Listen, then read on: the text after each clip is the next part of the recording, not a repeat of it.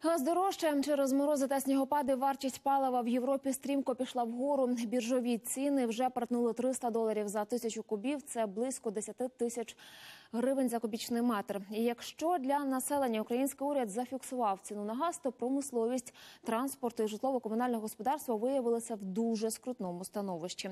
Чому дізнаємося від моїх колег? Високі газові тарифи для підприємств, збитки, пекарні, заводи, дитячі садки, лікарні, школи словом для всіх. Паливо найвагоміша частка комунальних витрат. І саме облгази забезпечують безперебійне і безаварійне газопостачання. Вони закуповують технологічний газ, і через зростання його вартості ще торік у них почалися збитки.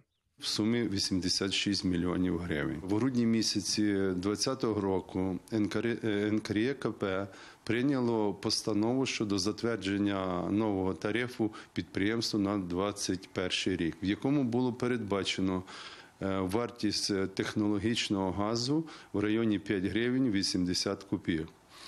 На сьогоднішній день ми можемо спостерігати, яка вартість газу на ринку. Вона сягає близько 10 гривень. При тому, якщо ми по таких завищених цінах закупимо сьогодні технологічний газ, в нас не вистачить е, більше обігових коштів. В тарифе облгазов цена технического газа изначально была предусмотрена ниже, чем она была реально на рынке. И уже сейчас, да, когда поднялась вся эта волна с, пересмотр, с необходимостью пересмотра тарифов, с пересмотренными тарифами, все равно правительство не установило точно такую же цену, как оно установило для теплокоммунэнерго и для населения, для технического газа облгазов. То есть, по сути дела, стало холодно, Цю ситуацію спробували використати політики. У різних областях організували мітинги проти підвищення тарифів. Справді, разом із цінами на газ зросла вартість тепла, електроенергії і доставки газу. Та що з цього списку найсильніше вдарило по гаманцю українців? Харків'янка Євгенія навіть тарифний рейтинг склала. Больше всего увеличились расходы это на отопление. На месяц это составляет порядка двух с половиной тысяч гривен. И второе место это электричество. Поскольку отменили льготный тариф на первые 100 киловатт-часов, то расходы увеличились на 100 гривен. А вот самый маленький расход это за подачу газа. У нас плита и колонка. В месяц это примерно 10 гривен составляет. Приблизно така ж арифметика і в пана Дмитра із Дніпра. Больше всего придется заплатить за отопление, это без малого 1500 гривен. А также придется больше заплатить за электроэнергию, а, это около 800 гривен. А, За доставку газа платежка в среднем 14 гривен.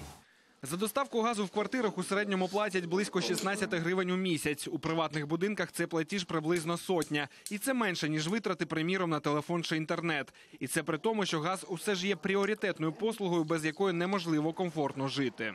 Мы обязаны выпол- выполнять все договорные обязательства и вовремя доставить э, газ всех поставщиков, а их э, сегодня уже около тысячи в стране, их клиентам.